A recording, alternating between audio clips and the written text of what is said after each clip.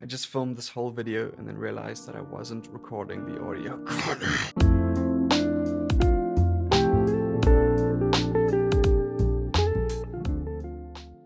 What's up guys, I'm back with another video and in today's video we're going to be discussing three ways to promote your music in 2023. Let's go.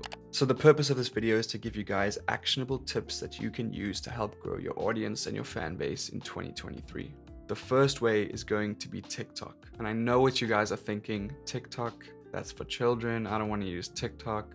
It's weird, whatever your ideas of it might be. And I had the same mentality for a while, but hopefully I can help shift that mentality for you guys.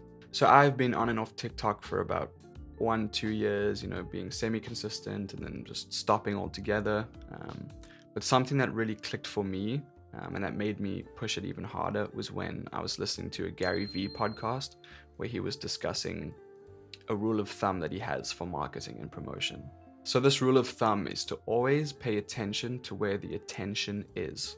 Remember that. Always pay attention to where the attention is. So, in the olden days, it used to be posters, it used to be billboards, because that's where the most eyes were, right? Was traffic. Nowadays, obviously, with social media, um, that's changed quite a bit. And the go to platform nowadays where the most attention and the most eyes are is, unfortunately, TikTok. Right now, this just happens to be TikTok, um, but it's always going to change. You guys have to make sure that you're adaptable to this change, because if you're not, you're going to be left behind. But that rule of thumb to always pay attention to where the attention is is just a great one liner to remember, and it really helps just navigate promotion better. For TikTok, guys, you really want to make sure your content is entertaining and engaging.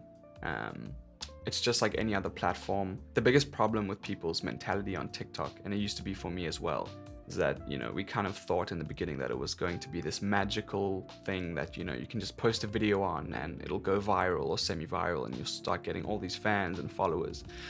We now know that that is not the case for most people. Yes, it has happened, but that was mostly in the beginning of TikTok and it's definitely declining. Um, so it's not a magical spell, guys. It's not you know this magical outlet that you can just post one video on and get a bunch of fans and followers. It's just like any other platform, you still have to have really good content and make it really engaging to grow.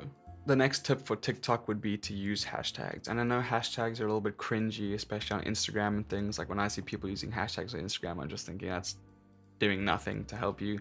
Um, but on TikTok, it actually really does still work. So for example, when I post a clip of this video on TikTok, I use hashtags like promoting music 2023, 2023 promotion, 2023 music industry, artist help, things like that, um, to help my video get seen in the correct niche. The final point I'll make about TikTok, guys, before we move on, is to focus on being a creator over a consumer. It's so easy nowadays to get sucked into TikTok and just spend hours scrolling mindlessly watching random videos um, so you really want to have that mindset of being a creator and not a consumer. Because if you just start becoming a consumer on TikTok, it's really going to damage your productivity and perhaps your mental health. The second way to promote your music in 2023 is going to be having a solid release strategy. This helps to create momentum for your releases and also helps to build your fan base. I'll put a link in the description to a video that we did on a 10 day artist release strategy. Um, it also has a download with it that is completely free. So if you guys want a simple, easy to follow 10 day release strategy for your music in 2023, make sure to check that video out. So I know I'm talking about having a strategy, but you also want to have an element of playing it by ear.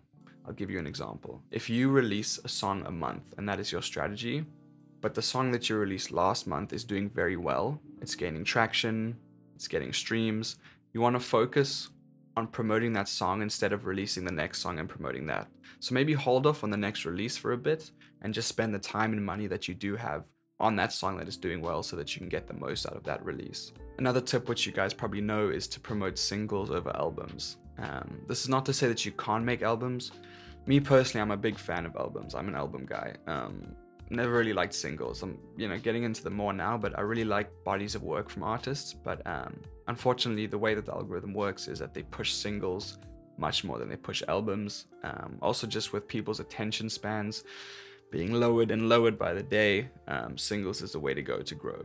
That rhymed. I'm a rapper, bro. You also want to post snippets pre-release so that people can get a taste of what's to come.